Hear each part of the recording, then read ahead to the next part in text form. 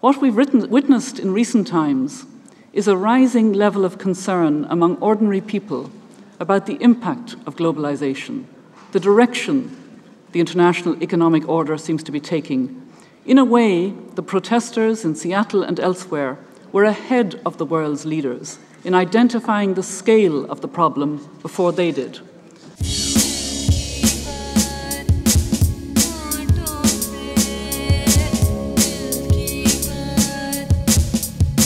Last week, Prague experienced its worst violence for 30 years, when 12,000 protesters took to the streets against the World Bank and International Monetary Fund.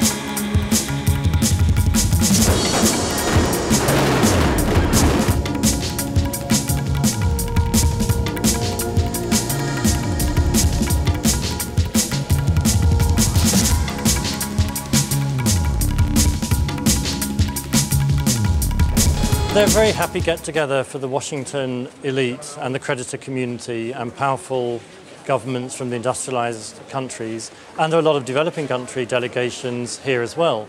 But the real power in these meetings and what gives them their real authority is that you've got the US Treasury, the European Union, Japan, all getting together to take decisions about how they're going to run the global economy. And of course, what they do is they run the global economy in their own interests, and this is the type of meeting where they take decisions that enable them to do that.